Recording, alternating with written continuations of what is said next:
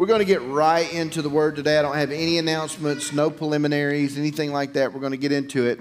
Um, and I think the only thing that I need to uh, remind everybody of is, um, well, I don't think we have any announcements, so we're just going to get right into it. Last week we spoke about um, Jesus the Lamb.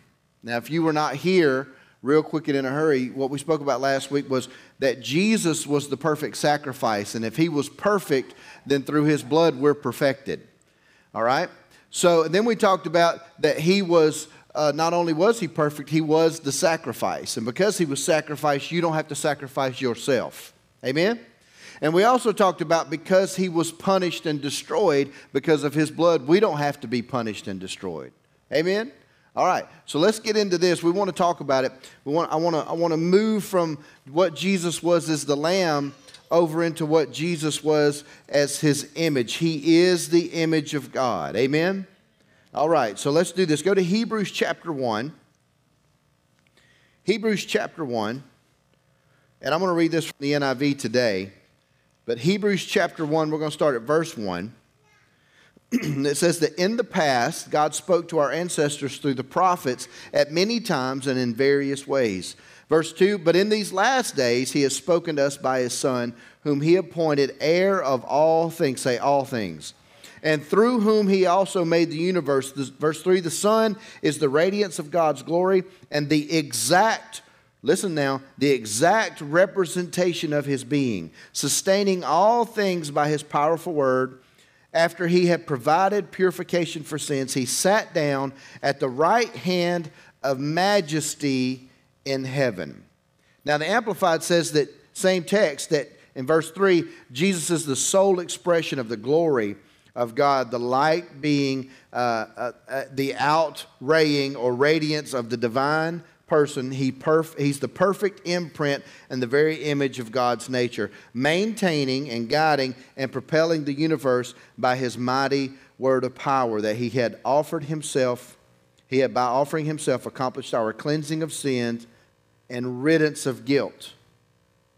The cleansing of sin and riddance of guilt. Are you hearing me? Riddance of guilt. We spent a lot of time on that last week. And what we've done is we've put ourselves in a place where we will accept that Jesus has forgiven us for that moment. Amen? But then we get stuck over into guilt or we get stuck over into shame. We get stuck over into letting ourselves be lied to about something that, that Jesus took. And, and I've developed a saying that I just kind of live by. We've got to give Jesus what he paid for. And if he paid for my guilt, I'm ready for him to have it. Amen. He went to the cross to take it there for you. Your job is not to pull it off the cross or remind yourself of your failure. You're all going to mess up. Oh, y'all perfect. Okay. Everybody in here is perfect. I guess I'm the only one. We all going to mess up. We're all going to put ourselves in situations where we're not living right. But what we got to see is that it's not an issue of behavior. I've been on this now for several months. We we tend to think that behavior is what keeps us holy. It's not your behavior that keeps you holy. It's your acceptance of him and your movement toward him that keeps you holy.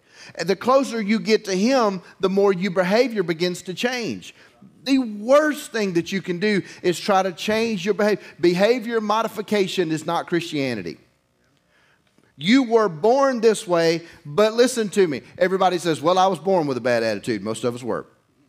Well, I was born this way. I've, I've got this issue. I was born like this. And well, it's just, it's in my family. You know, I was born with this in my blood. I was just born. I was just born. I was born with a victim mentality. My, my, my mama was this way, so I'm this way. I, me personally, we were talking this earlier today about the way I dress. And, you know, my father, and I didn't know he died when I was 12, but he, he dressed, he was half Cherokee, and he dressed pretty flashy. And I didn't realize that, that all the suits I was buying when I first got saved was just like what my daddy would buy because it was in me. And we lean on that. We say, This is who I am. However, when you accept Jesus, you become born again. So, this whole lie of, well, I was born this way and Jesus just going to have to, he fixed it on the cross. It was all put there at one time. And your job in Romans 8 talks about the suffering of the mind is to get to where your thought process becomes different. Suffering, Jesus doesn't need you to suffer for him. He suffered for you.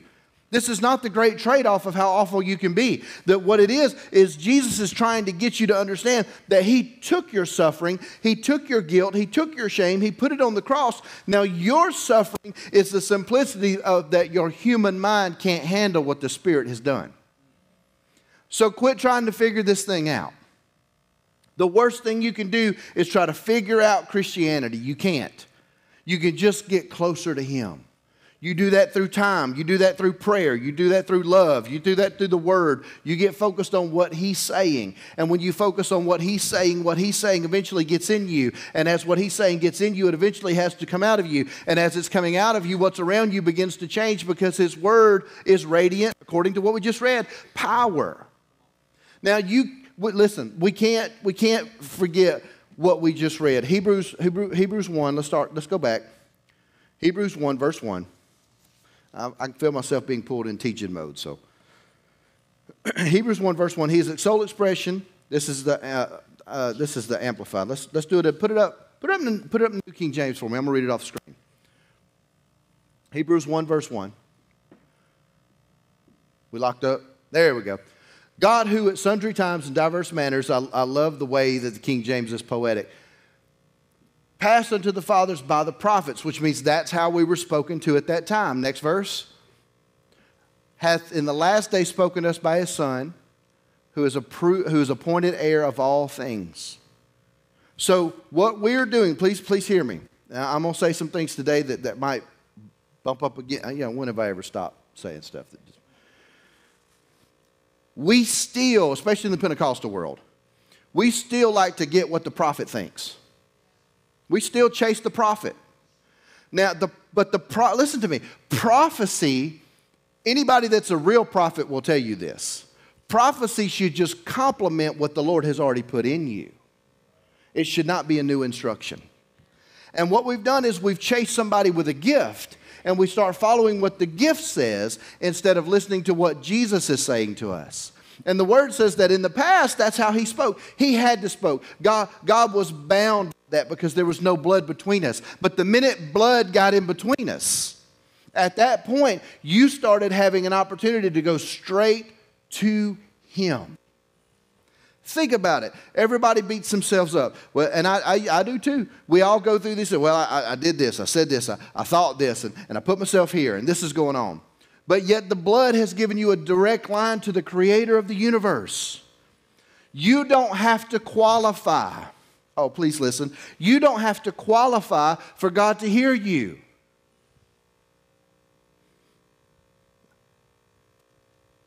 Crickets.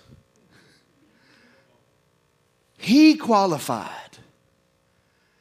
And his quality was bled out to put on you so you become his quality. We tend to think that there are these name brand Christians and then these great value Walmart Christians. That's not real. The blood is priceless. And when you're covered in the blood, it doesn't matter where you find yourself, that blood speaks. This is still your child. And because this is your child, God moves to where you're at if you just call on Him. And what He wants is for you just to speak His word, His way. Now, what you've got to do is you've got to understand that Jesus is the image of God. Y'all do understand that, right? That Jesus was the walking, talking image of God. And I want you to understand something. If you don't hear anything I say today, hear this. Healing our image of God heals our image of ourselves. Now, this is going to get tight. Y'all already quiet this morning, so I'm just going to preach hard. Your image of God is how you act in your Christianity. If you think God's mean, you're mean to people. If you think God is holy and righteous and head shoulders above everybody and never walks in love, then that's how you treat people under you. Your image of God is how you treat people in your Christianity. And as you begin to learn His Word and you move into a place where you're receiving Him the way He really is, your image of who you are begins to change because if He's that good and He sent Jesus to cover me, then I need to adjust. Not your behavior, your heart. And as you move to the place where your, your heart starts to see God as a good, good father, not a mean and nasty God that's ready to bug zap you. You ever been around them people that, that just, you know, when, when we first came into this thing, y'all know April's testimony. She told y'all about when she finally experienced the love of God for the first time. Before that happened, she went out in the yard and she was screaming at God because she had, she had had a rough childhood and, and all, her story's her story. But she was screaming at God. Now, I'm a brand new Christian. You know what my reaction was? I left the yard. I went somewhere else because if God strikes her, he ain't getting me. but that was my image of God. And all of these 20 some odd years later, my image of God has changed. And my image of myself has now changed. Because you, you have you ever seen those haughty preachers? I'm going to tell y'all this story. I probably shouldn't, but when's that ever stopped me? And I, some of you have heard this before, but when I was when I was first coming up in evangelism, I was an armor bearer in Birmingham for a big ministry, and I was learning to preach the gospel. I, I watched TBN all the time because that was kind of like my training ground. I could go to church every night. God knows I would have. I really would have gone to church every night if I was allowed to because I was a drug addict, then I wasn't. Something's good, I got to be there. And so I saw this preacher, and that's back when TBN would, would had, the, had the live crowds and you could go down and minister to them. This is years and years ago. And this guy is ministering, and I know his name, and you do too, and I'm not going to say his name. And he's ministering to people, and this lady comes up, and you could tell that she is broken. You can tell. I mean, through a TV screen, you can tell that she is on her last leg, that she's on, she could commit suicide on the way home. That's how bad it was. Older lady. And she came up and, and, and he said something. They put the mic up there and he prophesied to her.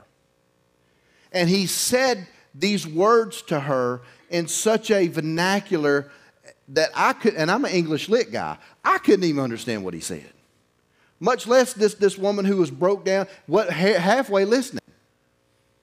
And then she says, I don't understand, without tears just rolling down her face. And she says, I don't understand what that means. And he says these words, and this marked me, this moment marked me.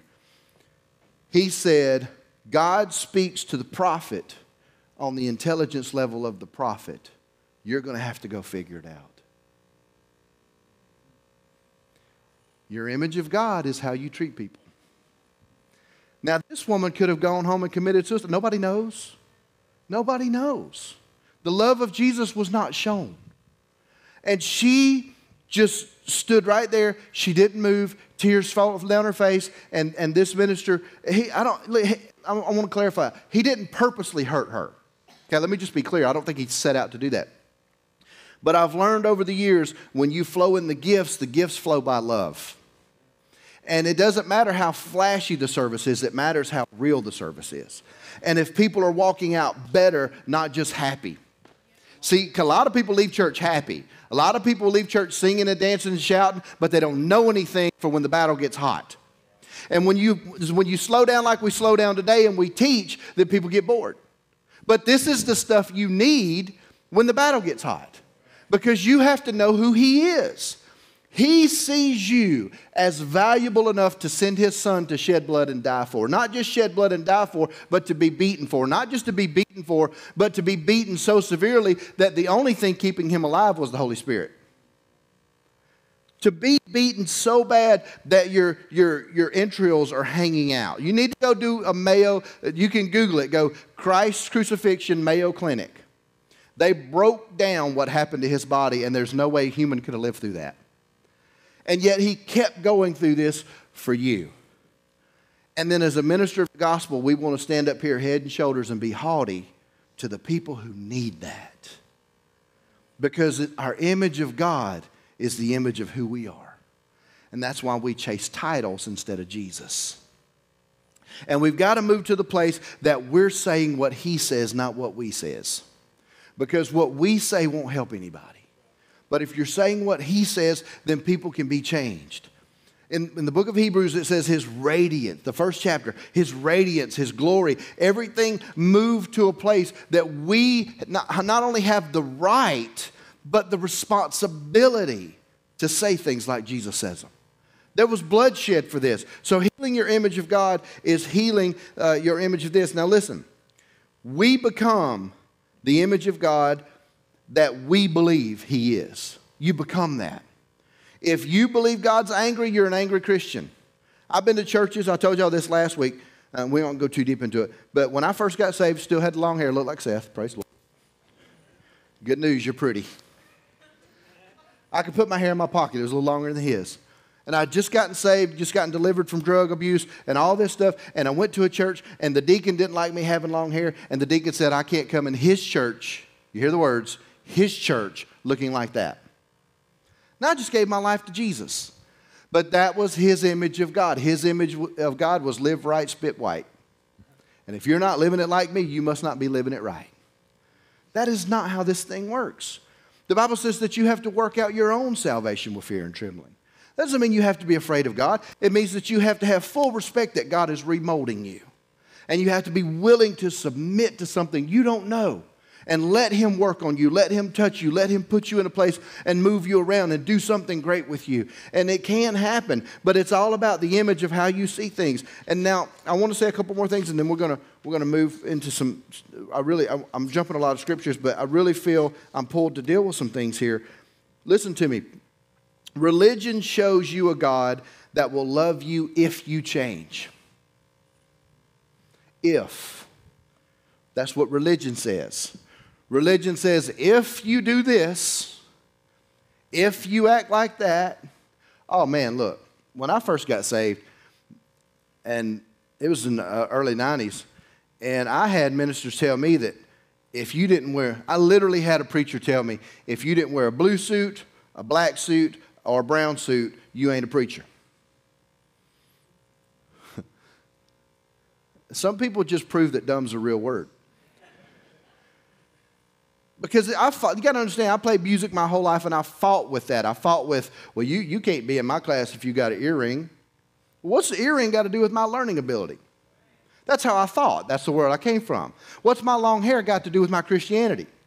You know, then, then, then you become a debater. Then you, oh, well, Jesus had long hair. Well, how do you know? The picture says, well, you weren't there. The guy that, the guy that painted the picture never saw Jesus. So the thing is, we get caught up in the semantics when all we have to do is focus on Him. And as we get closer to Him, we realize that religion says if. If you do this, if you do that, if you change, if you if you if you do this, I love you. You ever been around that manipulative person in your life that if you do things exactly right, they love you for 20 minutes? That's not how this works. Relationship says, I love you all the time, good, bad, or ugly.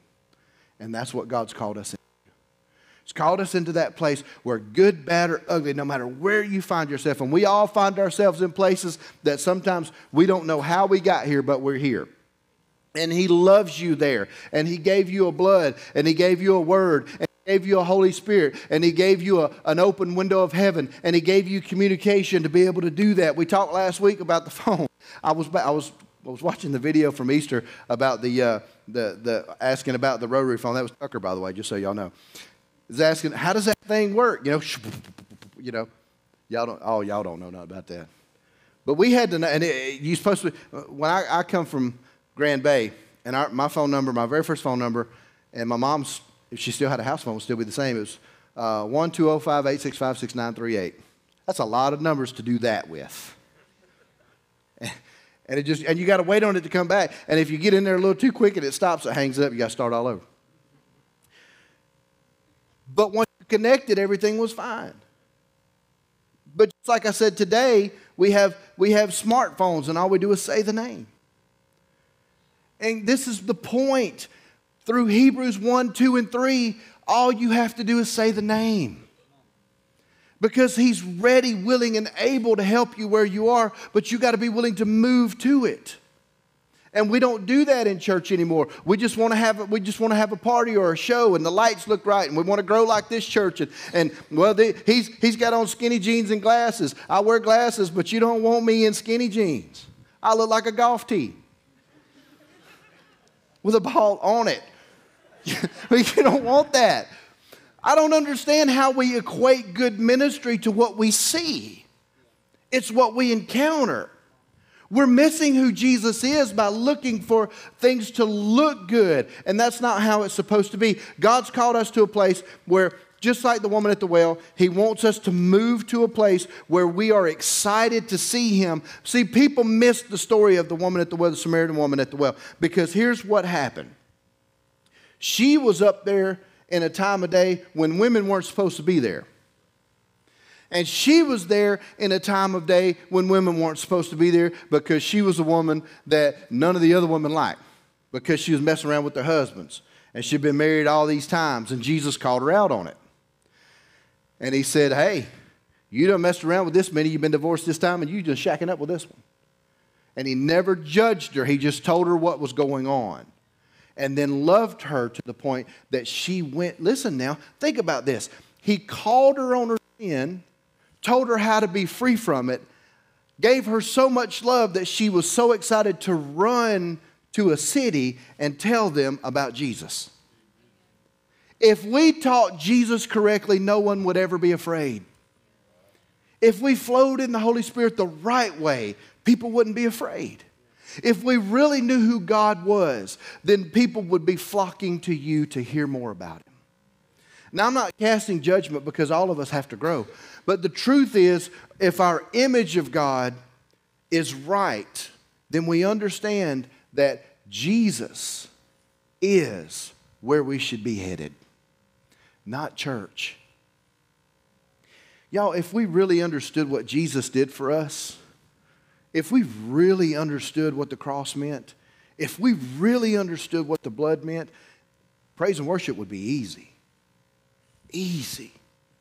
But then there's days like today where you come in and you feel it the minute you get on the property and you know the enemy we got people that got saved last week. So all of a sudden there's this fight in this church today where it's just hard to break through but the feeling doesn't change who god is because i don't live by feelings trust me if i live by my feelings i quit multiple times let me just tell y'all so i love all y'all but if i lived on you shout lord jesus y'all the quietest church i've ever been in ever been. I tell people all the time when they come here to preach, I set them down. I'm like, look, they Pentecostal, they love Jesus, but don't expect them to go crazy with you. Just, just, just, just teach. Just do your thing. And and Pastor, Pastor Tracy, I shouldn't tell y'all this, but I'm going to. Pastor Tracy Harris said he's got four or five uh, of the worst meetings he's ever had in his life. We're like number three because it was just tight that night. We had actually been under construction, and I mean, miracles are flowing. Two or three people get healed. The rest of it just like, we just laid over tired. But the truth is, when you see Christ, when you see Jesus, when you focus on the image of God, then your eyes are on something other than your problems. See, we come to church, please hear me. We come to church and we create this scenario where I've got to get to the preacher. I've got to get to the altar. I've got to do this the, the church way to be able to get free. Missing that you could have got free when the problem creeped up if you would have went to him. Because, because Jesus was the image of God, his blood's on you. And if his blood's on you, then God has to look at his own image. Oh, I'm fixing to mess with y'all now. If you understand that the blood of the image of God is on you, then God has to respond to his own image. You ever walk by a mirror and just stop and go, hmm? Or, or see something you need to fix, right? You walk by a mirror and you, you say, oh man, I need to fix my jacket, my hair's sticking up, I need to trim this, I need to do that. Oh man, I need some, I need this, I need somebody give me some paint, gotta fix the barn, whatever. That is how it is. Please hear me. This is how it is with God. God sees his image and he sees what needs to be fixed. And he starts talking to you about it. But you got to listen.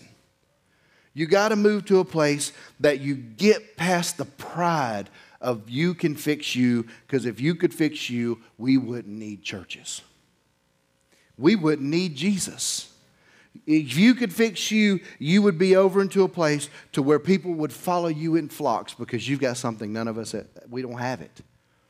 But when Jesus got all things in Hebrews, when he got all things, please hear me now. Matter of fact, let's just read it again. I'm gonna read it from the NIV. I got my notes all mixed up now. Gonna, you got the NIV back there? No, that's a big thumbs down he just gave me. I'm not worried about it. I'm not reading it off this. What it said was gave him all things in Hebrews 1, 2, and 3, that Jesus was given all things. Now listen, if you get nothing, get this. If Jesus was given all things and he died, then by covenant, all things went to who he left it to. And what are you covered in? You have all things, all power, all authority to walk in what Jesus promised. You have it. And what stops you is your mind. Because misery loves company. And when you go through something, you got to tell somebody, or you got to post it, or you got to you got to share it, or you got to you got to make sure somebody's aware of your misery. Do you? Can I just say this? Do you realize? And I'm not. I don't know. I'm not trying to offend anybody, but do you realize by sharing your misery with the world is anti what the world? I mean, what the Bible says. The Bible says to cast the whole of your care on Him because He cared for you. First, First Peter five and seven. Come to Him with everything, because when you put it out there you're putting it into an atmosphere where demons now have charge. And they now have, it's almost like this it's almost like if somebody really wanted to hurt you, and you called such and such and said, you know what would really hurt me is this. And they called the person that wanted to hurt you and gave them that information, then they came and did it or did whatever it took to break your heart. When you spend your time on the problem, you're giving demon entities everything they need to come do what it is that's bothering you. You know what? Can, let me just say this. I thought I was going to wrap up right there, but I don't guess I am. Listen, why is it that we will accept so readily the attack of the enemy, but we won't accept the blessing of Jesus, which is limitless power? The attack of the enemy is temporary and he has a short attention span. Now, I'm going to say this. Again, this is going to bump up against some theology, but since we're in teaching mode today, I can do this. Satan sows what? What does he try to give to you all the time? Fear. So, is Satan big enough to be taken away from what God says? No. So, if Satan sows fear, and biblically speaking, what you sow comes back to you a hundred times. Then you realize the one attacking you is more fearful than you are. But you think he's big and bad. He's scared. He's afraid. He's telling you your past. He's sowing strife but yet he is always in turmoil himself because it has to come back to him. Are y'all with me? The Bible says that if you're sowing, that it has to return. If you're sowing, it has to be careful what you say because it's going to come back to you. Be careful what you do because you're sowing seeds. Satan has to live by the same law. So if he's sowing to you hurt, then he's in more pain than you are. I heard a sermon one time. Years and years when I first got saved, I heard a sermon. Uh, uh, gosh, what was that? April, what was that at Living Word? Floyd LaHan. Floyd LaHan, that's his name, Floyd LaHan. Floyd LaHan taught a sermon that was 10 reasons why I feel sorry for the devil. And by reason five, I felt sorry for him because it was this stuff. It was what he's sowing is coming back to him. What he's doing, although we've made him big and we've made his image big and we think that he's on the same level with God and he's not, we put him in such a bigger category and that's what he wants because he's so afraid. Most people that are insecure want to be puffed up. And on a spiritual level, that is exactly what Satan is. But God doesn't need that, He just needs you. Think about that. Get past your own insecurity and your pain and your hurt. And I, I, know we all been done wrong, y'all. I know it. But when you come to the realization that the creator of the universe needs you, are you hearing me? He needs your voice. He needs your eyes. He needs your mouth. He needs your song. He needs your worship. He doesn't need you to puff him up to be bigger God. He needs you to be him on this planet because they're children. I have children. I love all my children. And all of my children, if half of them were gone and I had no way to get to them, I would want somebody to go get them. And he needs you to go get his kids. And you get his kids by being like him, not worried about what the enemy's doing. Because the enemy has no power. All things, all power, all authority was given to him. Everything was given to Jesus, and Jesus gave it to you on the cross. When you put him on, you put everything on that came with him. Stop doing his work with your words. Just go be like him. Just go be in the image of who he is.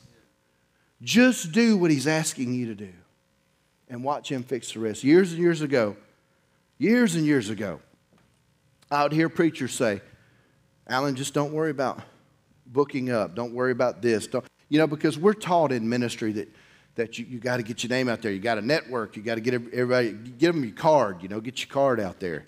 You got to incorporate your ministry. You got to do this. And I had Matt Gober pull me to the side and he said, Son, if you will worry about getting the word out, God will get everything else in. And that's, that's really all we need to focus on. Just get the word out. You've got word in you. You come to church here, you get the word every Sunday. You, uh, listen, you, you get very, very well taught here. Not, I'm not patting myself on the back. I'm just saying we just don't preach whipped cream sermons here. We challenge, we push. And we do that because there's a world that needs what's in you. And somebody's got to break the shell off of you. Amen? Amen. Let's stand to our feet and just worship for just a second.